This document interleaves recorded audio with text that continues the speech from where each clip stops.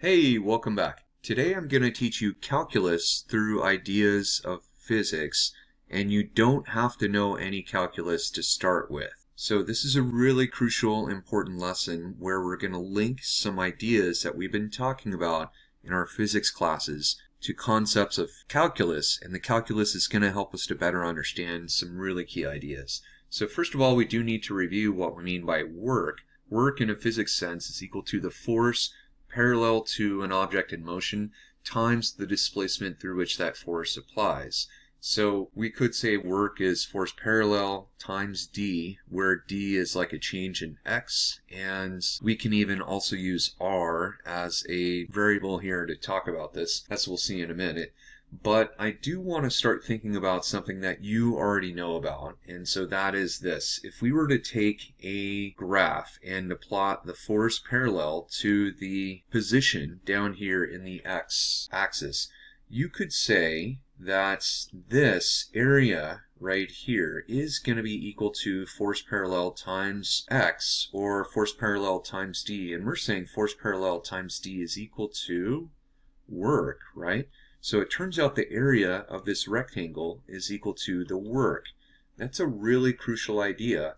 And in fact, I'm going to argue that we're going to call this the area under the curve. Now you could say, hey, wait up, that's not a curve. And I would agree with you, this is a flat line. But just roll with it for a minute because it will get more complex with time. The area under the curve includes things such as flat lines or straight lines but it also includes more complex functions, as we'll see in a moment. Alright, well, what else can we do with this? We can say, well, what if we had a more complex shape to deal with in terms of our graph? What if we had something like this?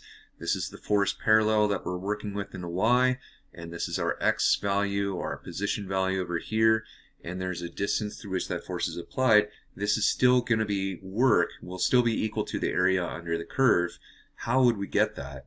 Well, we would solve for the area of this triangle right here, the area of this triangle right here, sum them up, and that would be equal to the work that is done on the object. And again, you may not recognize this, but this is actually really, really crucial for understanding physics with work and how to think things through with calculus. Okay, so we're going to say that what if we had an even more complex scenario where the force became negative at some point. So if the force became negative, it would be underneath the x-axis.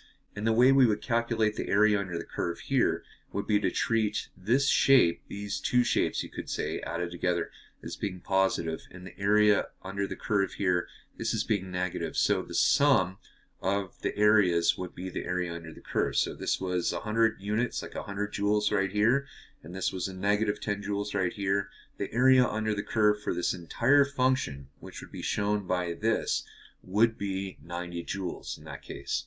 Well, it turns out that life is even more complex than this because forces are rarely constants. They are rarely straight lines, so to speak.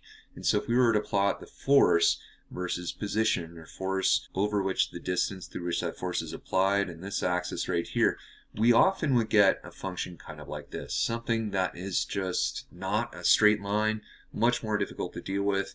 And if I were to ask you, how would we calculate the area under the curve here?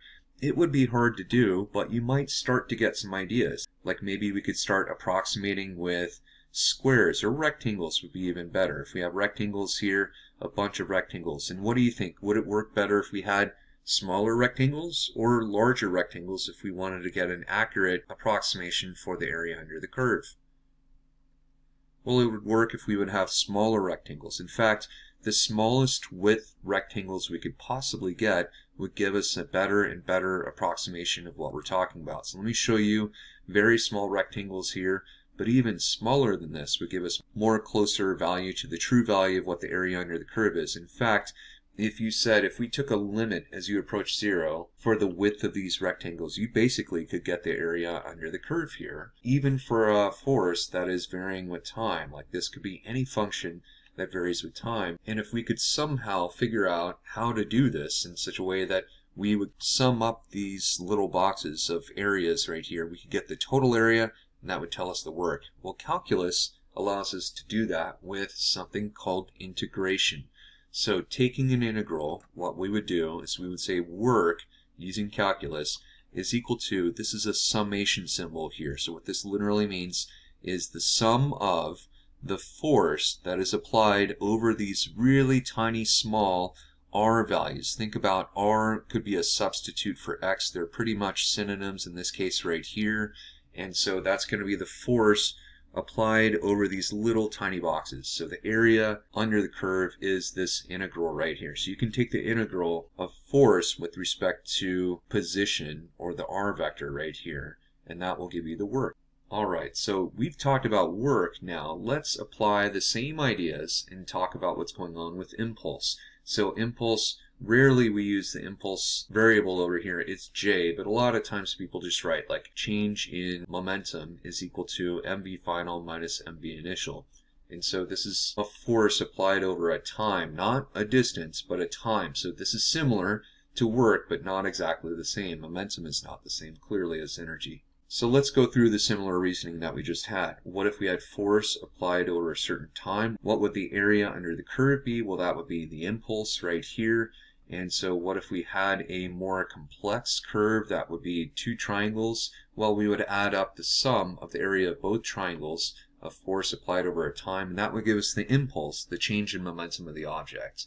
And so we could say, well, what if we had something like this? Again, we could say if there was a negative area under the curve, we would solve for the area under the curve by treating this area right here as positive, this area down below here is negative, and finally, if we had a much more complex function that is shown like we have over here, we could take the integral or integrate force with respect to time and that would give us a very, very good approximation of what the impulse would be. And the way we would show that would be something like this. So J could also represent impulse, and that's a change in momentum. And so what do we mean by impulse? We mean impulse is equal to the integral of force with respect to time.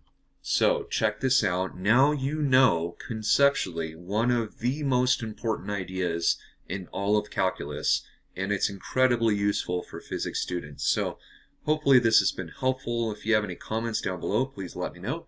And I hope you all have a great day. Take care.